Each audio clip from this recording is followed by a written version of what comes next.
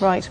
Uh, also, love our next guest. She was brought up by her single mum. She left home after Rouse, spent four years living on and off in hostels, and last week her first album was nominated for the prestigious Mercury Music Prize. She's called Speech Debelle, and she's here to talk more about her life and music. Good morning. Good morning. You okay? I'm good. Early morning for you. Yeah, it's alright now. We're going to have a little listen now to the upcoming single. This is uh, Better Days.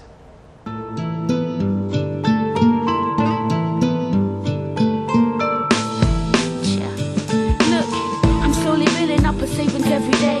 Although it's hard to save when you're getting low pay. I stop and so my days are kinda quiet. I quite like it. They're less violent with less liars. I put in extra effort, change up the gear when I'm. I got the scales up and I'm steering them. I'm staying clear with them. Yeah, you know who I'm talking about. It's unnecessary for the name to leave my mouth. Look, words are power, so I manifest the form. Everything I think is what I thought, and everything I thought is what I feel. Everything I feel is who I am. A woman with nothing's ruined, yeah. I got a half cup of hope and I'm sipping slow. No more standing on that road, it's old. I got no time for time, wasting time is precious. I only got time for studio sessions now. Now, Speech, I noticed you were studiously not watching yourself. Did you? Yeah, you were sort of looking down, not looking at the monitors. I just, are you, are you used to the idea of seeing? Because this is Honestly, I'm not that used to it. I'm not that used to it. I'm not even that used to listening to my own album. Um, it it it only came out last month, June the first. Um, I only kind of uh, held the actual finished CD like a month ago. Because it's, such an extraordinary story that, that you have. Um, take us back a little bit to tell us how you got into to the music business. As we said there, you spent some time on the streets. From what age? Well, I um, uh, I left home when I was about 19. Um, spent some time in hostels and sometimes in in uh, with friends. Um, and also, as I got older, I started to rent, um, you know, a place with my friend and, and things like that. So I spent about four years away from home.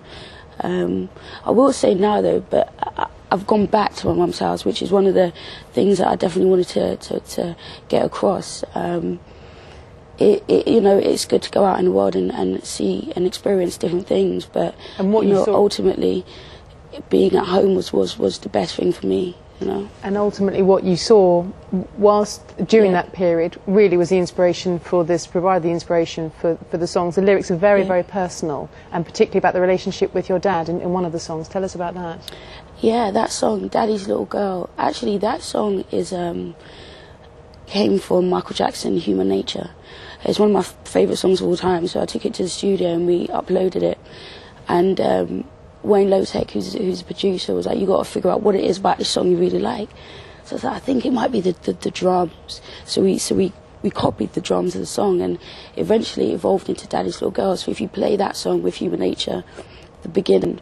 Uh, 10 seconds are pretty much the same. And the themes that you talk about, because Yeah. I mean, I, I listened to it last night, and the themes you talk about, your relationship with your dad, because he, he left, he, he had no part, effectively has had no part in your life. Yeah.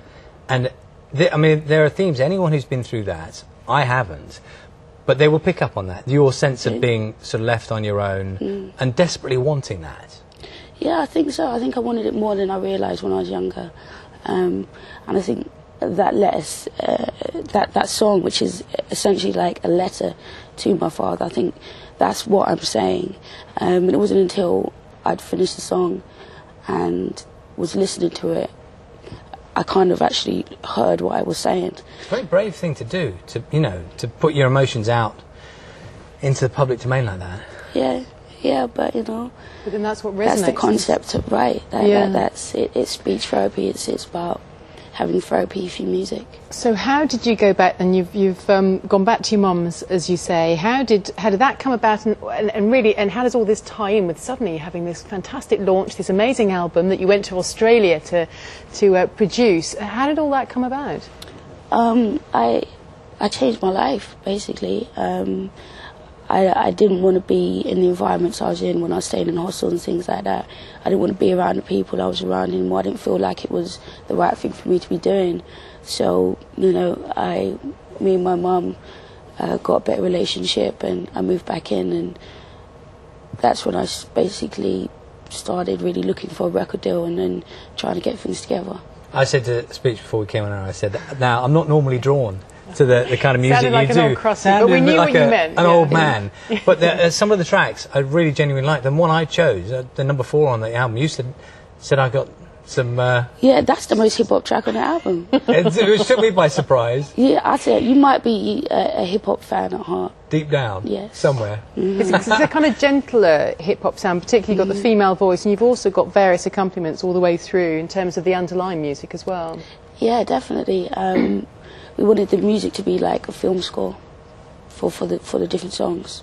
Well, we wish you all the best with the upcoming awards and uh, all the attention you're getting.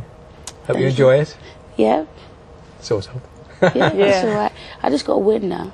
That's all. Yeah, Well, we'll have that'd you back nice. on. We'll have you back on when you do. Really good to meet you. Thank you very You much. too. It's a great Nice to album. see you. Thank you. Thank you.